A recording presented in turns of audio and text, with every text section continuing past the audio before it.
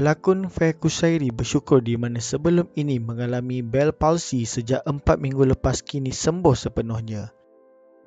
Menurut beliau, selain makan ubat yang disarankan doktor, beliau juga menjalani rawatan tutup wajah secara konsisten dan berterusan sebanyak lima kali.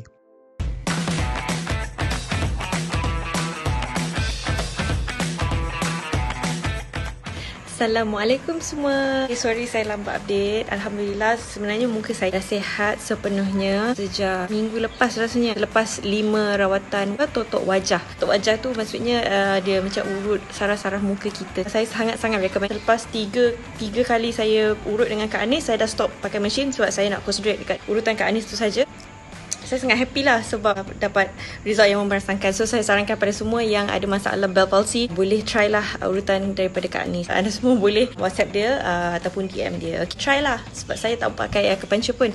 Saya cuma makan ubat, saya buat fisio dan juga saya uh, buat urutan tutup wajah. Thank you semua yang mendoakan dan saya harap yang ada masalah uh, sama dengan saya anda semua boleh sihat macam saya juga.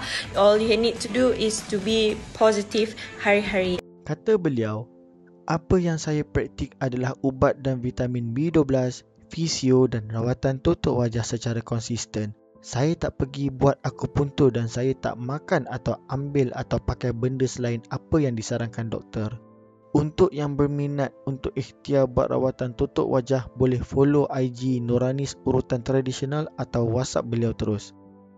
Melalui posting tersebut, Fair meluahkan rasa gembira Posting tersebut mendapat perhatian pengikutnya yang rata-rata kagum dengan semangat beliau untuk cepat sembuh. Fair mula derita Bell palsy ketika selamat melahirkan anak kedua. Terima kasih kerana menonton. Sekiranya anda suka dengan video ini, please like, komen dan subscribe.